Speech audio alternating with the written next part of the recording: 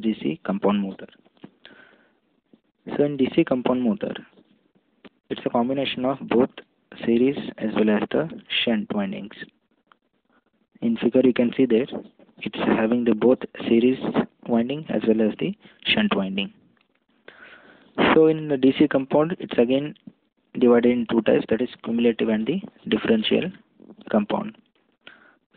So what I mean by cumulative means if the flux generated by a series winding as well as the shunt windings are in the same direction then it is called as cumulative compound uh, motor.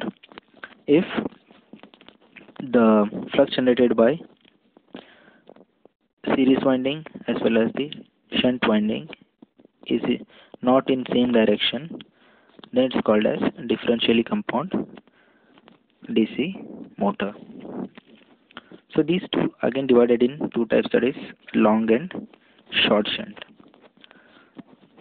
So in first one in cumulative the uh, current enters the positive terminal of the series field winding and current ISH enters the positive terminal of the field winding hence uh, flux produces same direction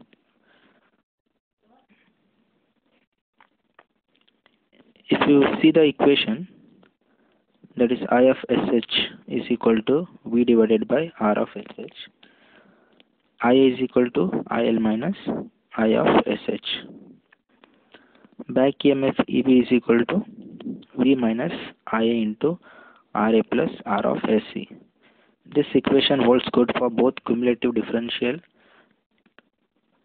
long shunt DC motor. For the cumulative or differential compound short shunt DC motor, the equation is given by ISH is equal to V minus IL into R of SC divided by RSH.